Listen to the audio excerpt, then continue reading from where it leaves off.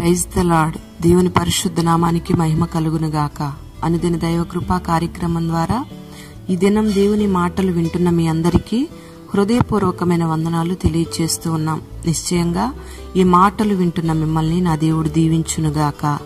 Amen. పరిశుద్ధ గ్రంథంలో అపోస్తులుడైన పౌలు తిమోతికి రాసిన మొదటి పత్రిక ఆరవ అధ్యాయం పదిహేడవ వాక్యంలో ఈ రీతిగా రాయబడి ఉంది.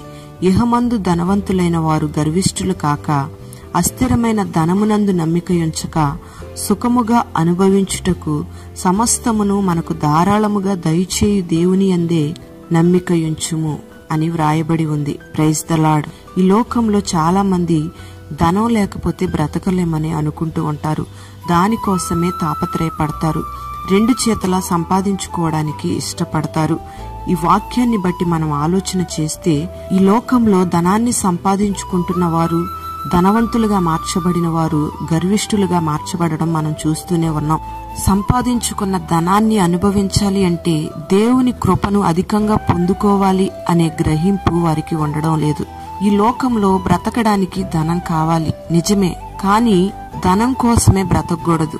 పరిశుద్ధ గ్రంథంలో ఏసయ్య ఈ ధనవంతులను గుర్చి ఒక ఉపమానం చెప్పాడు. ఒక ధనవంతుడికి భూమి సమృద్ధిగా పండింది. ఆ ధనవంతుడు పంట కూర్చుకోవడానికి స్థలం చాలట్లేదు. అందుకే ఆ ధనవంతుడు తనలో తాను ఆలోచించుకొని అనుకుంటాడు నా కొట్లన్నీ పడగొట్టి వాటిని గొప్పవాటిగా కట్టించి అందులో ధాన్యమంతటిని సమకూర్చుకుంటాను. అప్పుడు నా ప్రాణంతో నా ప్రాణమా? తినుము తాగుము సుఖించుము సంతోషించుము అని చెప్పుకుంటాను అనుకుంటున్నాడు. అయితే దేవుడు అంటాడు వెర్రివాడా ఈ రాత్రే నీ ప్రాణం పోతే నీవు సిద్ధపరుచుకున్నవి నువ్వు సంపాదించుకున్నవన్నీ ఎవనివగును? అని దేవుడు వానితో చెప్పాడు. ప్రియమైన దేవుని బిడ్లారా ఈ మాటలను బట్టి మనం గమనించినట్లయితే మనం దేవుని కొరకు ధనవంతులుగా మార్చబడడానికి ఇష్టపడాలి. ఈ లోకంలో ధనవంతులుగా మార్చబడడానికి ప్రయాసపడితే ఖచ్చితంగా మన ప్రాణాన్ని మనం పోగొట్టుకుంటాం. పంట సమృద్ధిగా పండడం పంటను కూర్చుకోవడం పాత కొట్లను పడగొట్టి కొత్త వాటిని కట్టుకోవడం ఇవన్నీ కూడా అభివృద్ధికి చిహ్నాలుగా కనబడుతూ ఉన్నాయి. పంట విస్తరించిన ఉద్యోగంలో అభివృద్ధి పొందిన వ్యాపారంలో నువ్వు విస్తరించినా అది దేవుని వలన కలిగిన ఆశీర్వాదమని నువ్వు మర్చిపోకూడదు. చాలా మంది అంటారు ఈ ఇల్లు నేను కట్టాను ఈ పొలం నేను కొన్నాను ఈ స్థలం నేను కొన్నాను ఇది నేను సంపాదించాను ఇది నా వల్ల కలిగింది ఇది నా ద్వారా కలిగింది అని అతిశయపడుతూ ఉంటారు. కానీ దాన్ని సంపాదించడానికి దాన్ని కూడగట్టుకోవడానికి దేవుడిచ్చిన కృపను మాత్రం తలంచరు. ప్రియమైన దేవుని బిడ్డ రేపు నీది కాదనే సంగతిని నువ్వు గుర్తుపెట్టుకోవాలి. ఇక్కడ ఈ ధనవంతుడు రేపు నాది కాదు అనే సత్యాన్ని గ్రహించక నా ప్రాణమా తినుము త్రాగుము సుఖించుము అని మాట్లాడుతూ ఉన్నాడు. ఈ ధనవంతుడు శాశ్వతంగా ఈ లోకాన్ని విడిచి ఒకరోజు వెళ్ళిపోతాను అనే సంగతి గుర్తించలేదు.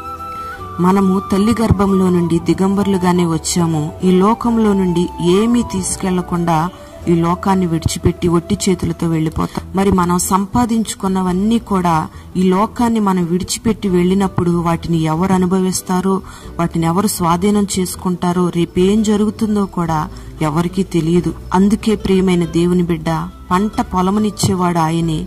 పంటను పండించేవాడు ఆయనే ఆ పంటను అనుభవించుటకి సామర్థ్యాన్ని కలుగు చేసేవాడు కూడా ఆయనే అనే సంగతిని నువ్వు మర్చిపోకూడదు. నీకున్న సంపాదనను బట్టి నీకున్న ఆస్తిని బట్టి నువ్వు సంతోషించకుండా మొదటిగా ఆ ఆస్తిని అనుభవించడానికి నువ్వు దేవుని కృపను పొందుకున్నావో లేదో ఒకసారి ఆలోచన చెయ్యి. నీవు ధనం కొరకు సంపాదన కొరకు జీవించడం దేవుని చిత్తం కాదు గాని దేవుని కొరకు నువ్వు జీవించాలనేదే దేవుని ఆశ. నీ దేహము దేవుని కొరకే ఉండాలని నీ ఆస్తి దేవుని కొరకే ఉండాలని నువ్వు గమనించాలి. నీవు దేవుని కొరకు జీవించడానికి ప్రయాసపడినట్లయితే ఇహమందు పరమందు కూడా నా దేవుడు నిన్ను గొప్ప ఐశ్వర్యవంతునిగా మారుస్తాడు. మనల్ని ధనవంతులుగా చేయడానికే మన కొరకు ఆయన దరిద్రునిగా మార్చబడ్డాడు. ఆయనకు భూమి మీద తనకంటూ ఏమీ సంపాదించుకోలేదు.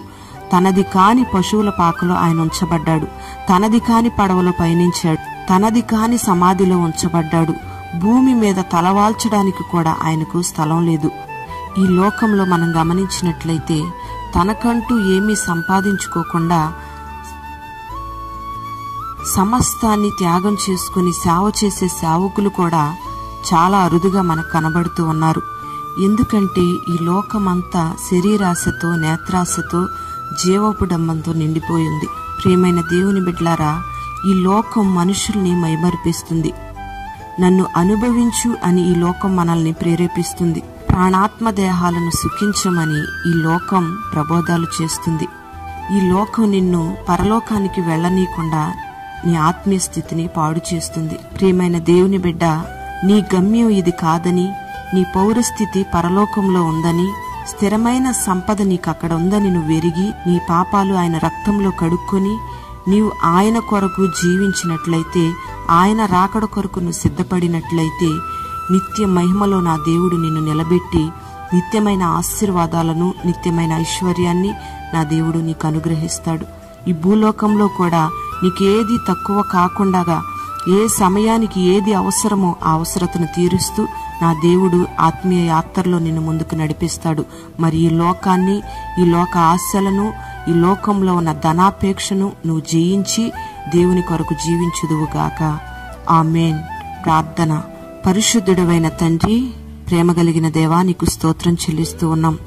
అస్థిరమైన ధనమునందు నమ్మిక ఉంచకుండా నీ యందు నమ్మిక ఉంచి సమస్తమును ధారాళముగా సంపాదించుకున్న ధనాన్ని అనుభవించడానికి కృప చూపే నీ మీద నమ్మిక ఉంచడానికి నీ బిడ్డలందరికీ మీరు కృపదయచేయండి ఈ లోకంలో ధనాన్ని సంపాదించుకొని వారి ప్రాణాన్ని పోగొట్టుకునే వారిగా ఉండకుండా నీ కొరకు ధనాన్ని సమకూర్చుకునే వారిగా ఆత్మ సంబంధమైన దీవెనలు అభివృద్ధి పొందడానికి నిబిడలకు కృపను అనుగ్రహించి పేరు పేరున నిబిడలను దీవించమని అట్టి కృపను భాగ్యాన్ని నిబిడలకు దయచేయమని మహిమ మీరు పొందుకుని నిబిడలను ఆశీర్వదించమని ఏసు పేరట వేడుచున్నాము తండ్రి. ఆమెన్.